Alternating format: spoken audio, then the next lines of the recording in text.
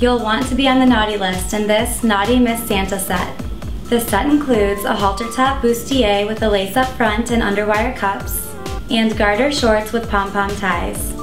Be sure to accessorize this costume with a Santa hat and buckle stockings.